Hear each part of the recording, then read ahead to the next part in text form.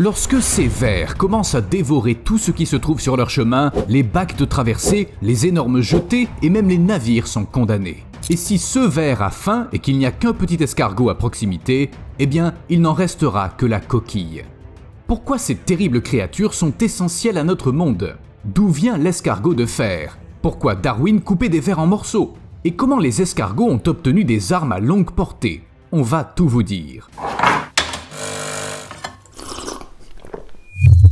Regardez attentivement cette créature. Elle ressemble à la fois à un ver et à un requin-marteau, et c'est un prédateur féroce. On dirait un ver inoffensif, mais vous avez remarqué l'intensité avec laquelle l'escargot s'est mis à se tordre dans tous les sens? On dirait qu'il essaie de s'enfuir. Mais comment faire quand on est un escargot? Le ver rattrape la proie, il s'enroule autour d'elle et il aspire ses entrailles. Il aspire absolument tout. Tout ce qui reste de l'escargot est une coquille vide. Et la première question qui vient à l'esprit est Comment un ver peut faire une chose pareille Je sais pas ce que vous en pensez, mais pour moi, en général, ces créatures n'ont pas l'air de prédateurs. Parlez-moi de guépards, de murènes, d'aigles ou encore de dionnées à trappe-mouche. Mais les vers, Pourtant, leur petit monde est un lieu incroyablement violent avec ses propres super méchants. Bipalium, alias le ver plat à tête de marteau, est un véritable prédateur terrestre dont la longueur varie de 5 à 20 cm. Certaines espèces atteignent même 40 cm, mais c'est pas le sujet. Contrairement à beaucoup d'autres vers, il possède une tête bien définie qui ressemble à un marteau ou à un champignon selon l'espèce qu'on observe. Mais ce champignon a développé une stratégie de chasse parfaite. Tout d'abord, le ver repère sa proie à l'aide de chimiorécepteurs, des capteurs très sensibles à différentes substances chimiques. Ensuite, le prédateur traque la proie, ce qui n'est généralement pas trop difficile puisque les créatures à son menu sont très maladroites, puis il la pousse afin de la couvrir de bave. Imaginez être immergé dans une gelée très collante. La proie du ver à tête de marteau ressent quelque chose comme ça. Une fois la proie immobilisée, le ver détache son pharynx de son corps et sécrète des enzymes digestives, puis il aspire la proie déjà digérée dans ses intestins à l'aide de cils. Lorsque la digestion est terminée, la bouche du ver lui sert également d'anus. C'est une sorte de couteau suisse. En fait, c'est un moyen très pratique de manger des créatures comme les escargots. Si vous avez déjà goûté des huîtres, vous savez de quoi je parle. Il faut les aspirer. Pour être honnête, j'aime pas trop ça. Mais en gros, les vers à tête de marteau font la même chose. Il existe aussi des serpents du genre Pareas qui ont également maîtrisé cette compétence. Certains d'entre eux sont devenus des experts dans le domaine de la consommation d'escargots et peuvent le faire dès leur naissance. D'abord, le serpent mord la coquille de l'escargot, puis il en aspire le contenu. J'espère au moins que ça a bon goût. Ok, mais ces serpents peuvent être assez gros, et j'ai pas besoin de vous rappeler à quel point leurs proies peuvent être grosses. Et les vers? Leurs victimes doivent être suffisamment petites pour ne pas pouvoir se défendre. Ha Bipalium adventitium peut attaquer des proies faisant plus de 100 fois son propre poids. C'est comme si un humain essayait de manger des éléphants d'Afrique en s'approchant simplement d'eux et en leur mordant les pattes. Et que ça fonctionnait D'autres types de vers plats sont si doués pour la chasse qu'ils peuvent même manger des escargots géants africains. À propos, on essaie de lutter contre les espèces invasives comme les escargots géants africains à l'aide de vers plats. Mais il y a un problème. Ces vers sont pas particulièrement regardants quant à la taille et ils mangent tous les escargots qu'ils rencontrent. C'est-à-dire qu'ils détruisent à la fois les espèces invasives et indigènes. Au fait, vous avez déjà vu des escargots géants africains? Ils sont tout simplement énormes. Des créatures aussi grandes ne peuvent pas se défendre contre des vers? La nature a-t-elle délibérément rendu tous les escargots faibles pour que tout le monde puisse les chasser? Eh bien, peut-être, sauf les gastéropodes écailleux. Quand Steve m'a parlé d'escargot de fer, j'ai cru qu'il s'agissait d'un nouveau super-héros de bande dessinée un peu bizarre. Mais non, ça existe vraiment. Le gastéropode écailleux est un escargot qui vit près des cheminées hydrothermales et il est le seul organisme connu dont la coquille contient du fer. Le pied de cet animal est recouvert de plaques spéciales contenant du fer et sa coquille est divisée en trois couches, la couche extérieure étant également recouverte de sulfure de fer. Apparemment, le gastéropode écailleux a hérité cette particularité de lointains ancêtres. Il y a 500 millions d'années, de nombreux animaux anciens se défendaient ainsi. Car le fer fonctionne vraiment. Un escargot peut se sortir indemne de l'attaque d'un prédateur comme un crabe. Ce dernier peut serrer la solide coquille pendant plusieurs jours, mais elle ne se brisera pas. Et apparemment, ces escargots sont aussi magnétiques. Je suis sérieux, j'ai des sources.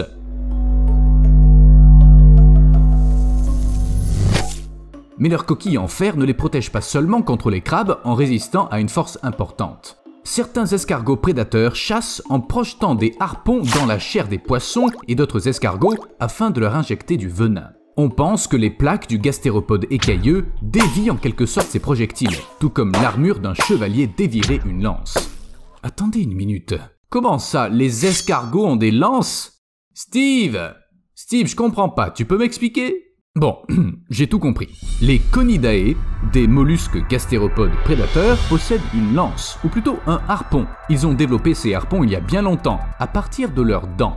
Grâce à ce harpon, les mollusques injectent du venin dans la proie, ce qui l'immobilise complètement. Puis, à l'aide du même harpon, ils tirent la proie vers eux. À propos, le venin des grands conidae est également dangereux pour l'homme, même s'ils ne vont pas nous manger. À ce jour, on sait qu'au moins 30 décès humains ont été causés par le venin des conidae. Mais laissons de côté les mollusques venimeux. Un jour, je ferai probablement une vidéo sur eux. C'est des créatures assez fascinantes. Pour l'instant, revenons aux vers, car les vers à tête de marteau ne se nourrissent pas seulement d'escargots. Leur menu comprend également des vers de terre. Une fois capturés par le ver à tête de marteau, ils se mettent bien sûr à réagir à l'attaque, mais le prédateur utilise les muscles de son corps ainsi que des sécrétions collantes pour se fixer au ver de terre. En fait, le ver à tête de marteau désoriente simplement sa proie, et bien vite, il est déjà trop tard. Et bien qu'il s'agisse d'un processus tout à fait naturel, les habitudes alimentaires des vers à tête de marteau peuvent nous coûter cher, mais on y reviendra plus tard. Les premiers vers plats ont été découverts par Charles Darwin. À l'époque, il avait emporté plusieurs vers à bord du Beagle, et comme tous les scientifiques de l'époque, il a commencé à faire des expériences sur des créatures inconnues. C'était son travail. Attends, il faut que je te décrive Sûrement pas, je sais très bien ce que tu feras après. Darwin a coupé les vers en deux et il a découvert que 25 jours plus tard, chaque moitié s'était régénérée en un animal presque complet. C'est-à-dire que deux vers étaient nés d'un seul. Le célèbre scientifique ne se doutait pas que ces mêmes vers allaient bientôt devenir une espèce invasive, prête à dominer la planète. À l'époque, il était simplement surpris et j'espère qu'il n'a pas goûté au vers. Mais il faut se rendre à l'évidence, la plupart des animaux ne survivent pas s'ils sont découpés en morceaux, sauf les vers plats. Puisqu'ils se reproduisent en se divisant, couper un ver, c'est lui faciliter la tâche. Même si on coupe la tête d'une telle créature, il en émergera deux vers, et les deux resteront en vie. Un morceau de verre plat sans queue ni tête peut devenir un organisme à part entière en trois semaines seulement. En trois semaines Il nous faut beaucoup plus de temps pour nous remettre de nos blessures. La première semaine, deux petites taches apparaissent sur le morceau de verre. C'est ces nouveaux yeux apparus de nulle part. Le reste du morceau ressemble toujours à une sorte de blob. Au douzième jour, le blob a déjà une nouvelle tête et une nouvelle queue, toutes deux translucides. Une semaine plus tard, elles ont pris leur couleur habituelle et à la fin de la troisième semaine, le ver peut déjà se nourrir. Autant dire qu'il est entièrement régénéré. Mais vous savez ce qui m'a vraiment surpris? Les vers plats ne font pas que se régénérer, ils partagent aussi leur mémoire. C'est-à-dire que si on coupe la tête d'un ver, on se retrouve vite avec deux vers, ils auront tous deux les mêmes souvenirs. Les scientifiques ont testé ce phénomène en laboratoire en entraînant d'abord les vers à se rendre dans une certaine zone pour se nourrir, puis en les séparant. Euh, littéralement, en deux morceaux. Il s'est avéré que leurs souvenirs demeuraient même après une telle procédure. Tout bien considéré, on comprend facilement comment les vers à tête de marteau sont rapidement devenus une espèce invasive. La première espèce de ver visiteur, Bipalium qnc, a été découverte dans les jardins botaniques de Kew dans la banlieue de Londres en 1878. Originaire d'Asie du Sud-Est, ce ver plat terrestre était arrivé sur un navire marchand et il s'est depuis répandu sur la majeure partie de la planète. Les vers ont d'abord colonisé toutes sortes de serres et de jardins intérieurs, puis ils sont sortis à l'air libre là où le climat s'y prêtait. Les scientifiques s'accordent à dire que les vers se sont répandus si largement, principalement grâce à leur capacité à se reproduire en se divisant. Les tentatives des humains pour les exterminer n'ont-elles fait qu'aider les vers? Qui sait? C'est pas le point le plus important. Le danger des espèces invasives n'est pas seulement qu'elles se multiplient rapidement, c'est aussi qu'elles chassent ou détruisent les espèces indigènes. Et ça peut mener au désastre, même lorsqu'il s'agit de vers de terre. D'un côté, qui se soucie des vers de terre? Ils font que ramper quelque part dans le sol. Mais d'un autre côté, c'est les vers de terre qui font du sol ce qu'il est. Ils le fertilisent, ils l'ameublissent constamment, ils le restaurent, ils le mélangent, ils répartissent les nutriments, ils nettoient même des métaux lourds. En outre, les vers de terre constituent une source de nourriture pour de nombreux animaux. C'est pas pour rien que les écologistes appellent les vers de terre les espèces clés de voûte.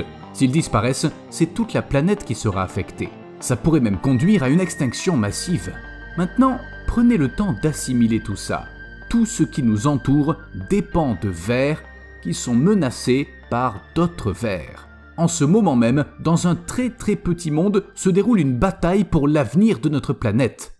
Bien qu'en fait, les vers causaient des dommages aux humains bien avant que Darwin ne découvre ces espèces à tête de marteau. Je parle des tarés. Imaginez le monde au 19e siècle. La plupart des choses importantes sont faites en bois, y compris les bateaux. Cependant, l'eau abrite des tarés, qui sont en fait des bivalves qui mangent du bois. Et le mot est faible. Ils le dévorent avec avidité et de manière incontrôlable. Bien que les tarés soient apparus bien avant que l'homme ne maîtrise la navigation maritime, c'est nous qui les avons transportés autour du monde en voyageant. N'oubliez pas qu'on utilise encore des piliers en bois pour les jeter, qu'on les descend dans l'eau et qu'ils constituent un buffet pour les tarés. C'est ce qui s'est passé à San Francisco le magazine Nature a estimé à 22,8 millions d'euros les dommages causés par les tarés dans la baie entre 1917 et 1921. Aujourd'hui, ça équivaudrait à plus de 270 millions d'euros. Depuis l'époque de la ruée vers l'or, 650 navires ont été abandonnés dans la baie. La plupart d'entre eux ont été mangés par les tarés, qui ont transformé le bois en une sorte d'éponge. Les vers ont sapé des piliers, détruit des jetés et même fait s'écrouler des maisons. Parfois, la destruction avait lieu à une vitesse terrifiante. Un grand quai, une jetée ou un bac disparaissaient toutes les deux semaines. Mais le plus intéressant est que cette bataille entre humains et tarés ne s'est jamais vraiment terminée. On a découvert comment traiter le bois, on a appris à utiliser divers produits chimiques, on a remplacé le bois par des matériaux plus durables, mais les vers sont pas partis pour autant. Ils prennent toujours plaisir à mordre dans le premier arbre qui entre dans l'eau. Espérons qu'ils ne découvrent pas comment manger le fer. A plus.